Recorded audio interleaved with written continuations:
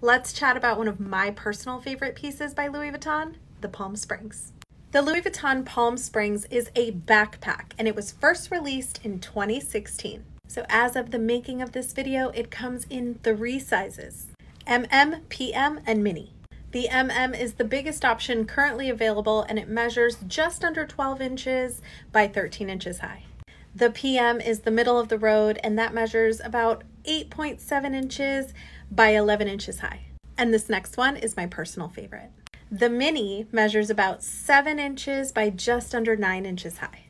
A standout feature of the PM and the MM sizes are that they have padded leather shoulder straps and a top handle.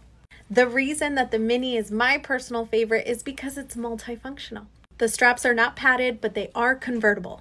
So you can carry it by the top handle, wear it as a backpack, and wear it as a crossbody. Prices keep going up, so check the resale market.